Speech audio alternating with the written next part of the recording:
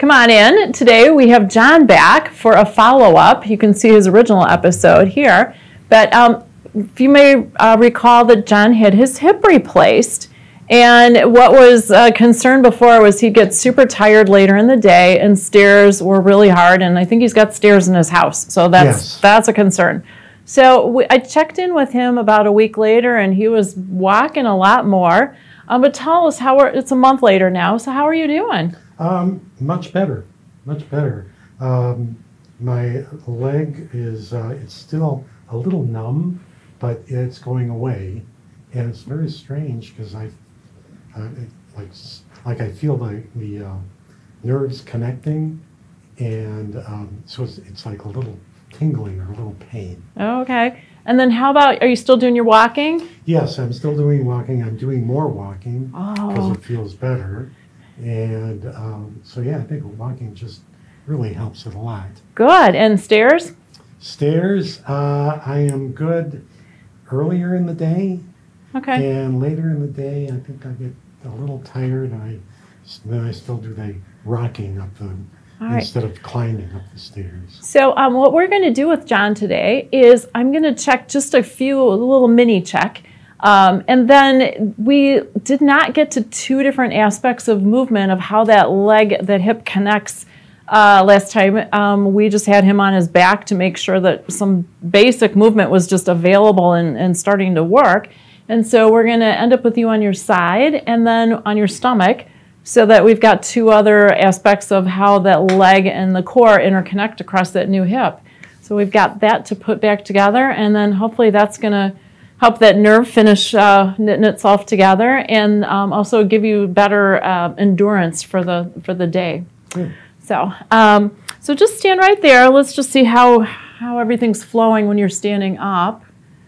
Wow, that's centered, very nice and easy, and then turning super nice and easy and forward and back. Love it. Well, that so far so good. Yeah. I'm going to let you sit and then lay down Okay. and let's just see what's going on with legs. So I'm just going to lift. Okay, they are matching. And does this one turn? It does. And same with this one. The right's a little bit easier. Um, pardon me. The left is a little bit easier. The right is the one that you had replaced. Yes. And let's just see how we're moving up here. Super easy. Actually, the left side's a little tight. Hmm. Um, and I'm going to lift and just take your each leg through a few different motions and see how it's the hip is turning. Because yes, we want the right to be better, but actually want them to match. So oh. we don't want to get the right better than the left. And- okay. Well, guess what? It doesn't turn. and just so you know what we're talking about, it's this.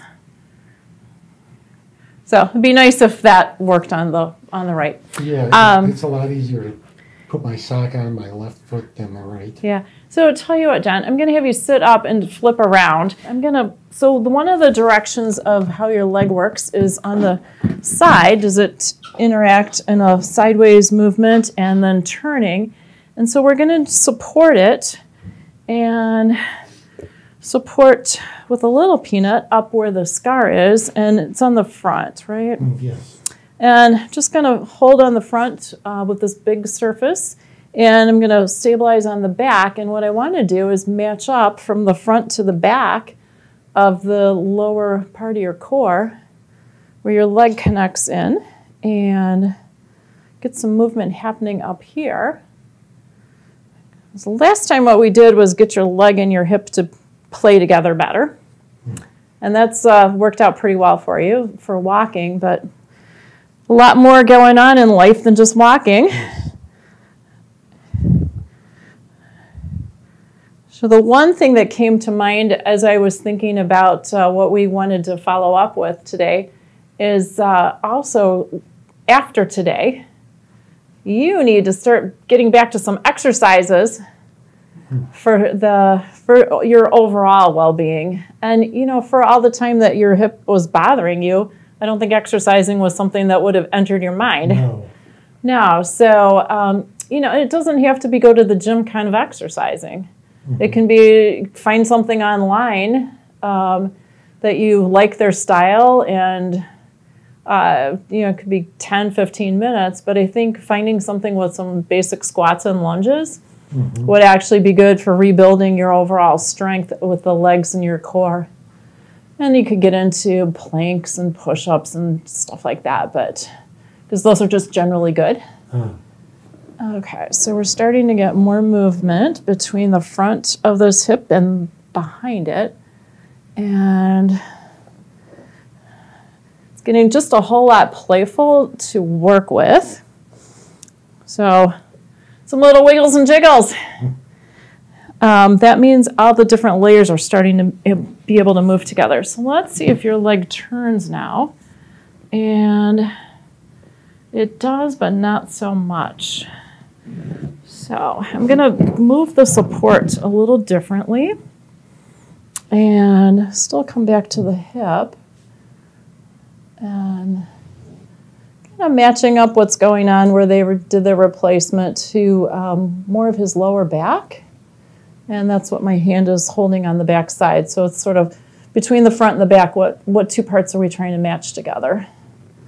Because there's so many muscles around that hip that go into the core. And actually, that just changed because I felt your core muscles relax and lengthen. And overall, it's getting easier to move. Let's recheck. So it's easier for me to lift. Oh, well, look at that. And I'm going to bend. And John, this is what we couldn't do when you were on your back. Oh, awesome.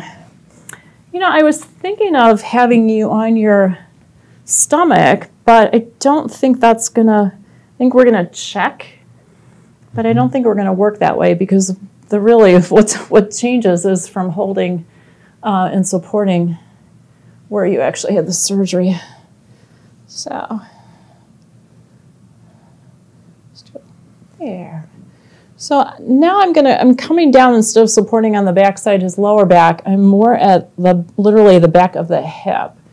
Um, for those of you who know a little bit on the hip uh, femur, the trochanter, just at the top of the bone itself. Because I want the availability of literally just the top of his thigh to move. And Gosh, that's starting to get really bouncy and playful.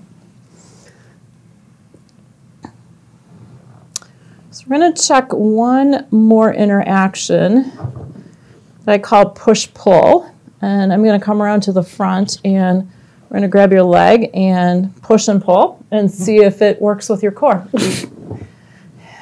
so.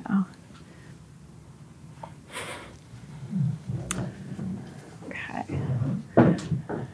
We're going to do this pretty gently. I do not want to stress that new hip. so I'm going to hold at your knee. And so we have a little bit of interaction between your core. You, you can feel it moving. We can see it moving. And there, it's starting to open up. It's kind of like it's been waiting to be discovered. Yeah. And do a little bit more. There we go. Because a lot of the endurance and um, strength that you're going to have for the whole leg is going to come from that whole core uh, interaction that is predominantly between the quads and hamstrings and the glutes. Hmm. It actually feels pretty nice and bouncy.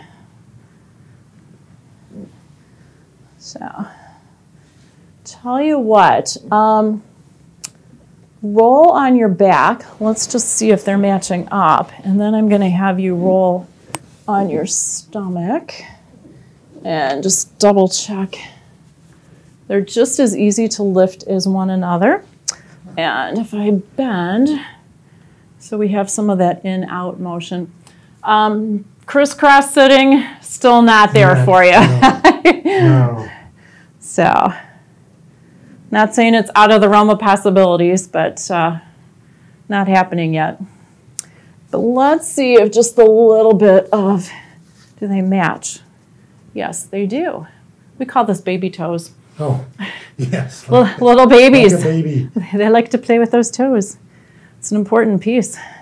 Okay, so those seem pretty good. Um, roll over that way.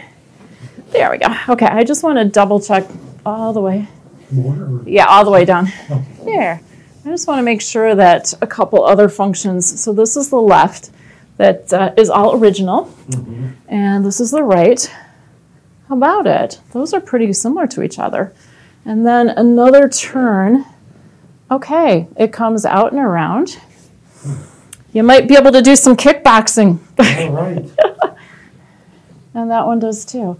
Great. And then let's see if you're centered here. Terrific. So tell you what, push back up um, and flip over. I want to check one last thing and then we'll we'll retest some stuff standing up. There we go. Make sure that our sides overall are matching. Wow. It's really good. Oh, good. So come on up and sit up. And you can just sit. I want to. I want to recheck and see how everything is flowing. Very nice. And turning and forward and back. And then Jen stand up. And I'm going to check a couple of different things standing. Um, just a basic one to start with. It's just so much easier. It was good when we started Yeah, but it's just it's like warmed up and I can feel this. Um, I can tell that it hasn't moved. In Yeah. a while, and now it is. yeah. Uh, face me. Okay. so um, i want you to put one foot in front of the other and then i'm just going to glide you forward and back because it's how to, how are you using all of that? Excellent. Okay now switch the other foot because again we want these to match. It's a little tighter on the right little tight um, in this position or the other position in this position. Okay, so it's just stand there and let's see what is. If you feel like you're going to lose your balance, you can put your hands on my shoulders. Oh, okay. And so this will be helpful for your walking, so you can Ah. take bigger strides. Yes, good. There we go. Okay, so let me use your hands. You're using the Nordic poles, right? Yes. Nice. Get the arm and the leg workout. Okay, switch back and let's see. Does that seem more similar? Yes. Mhm. Yay. Okay. So turn around and uh, that's it. Um, so just to recap, John had his hip replaced, uh, I think it's now three months Yes. close to. And we met with him a month ago and got uh, some basic interactions of his leg and hip um, working. And today we just connected up his core a little bit more completely. And so you should be ready for adding to your uh, workout routine Ah, uh, because it's really important to keep all that muscle, um, not only for balance, but just our overall health. Um, and we know that you want to be around for a few more years. so, um, yes. yes. So, thanks for joining us today and uh, give us a like, subscribe, and we'll see you in another episode. Thank you. Thank you.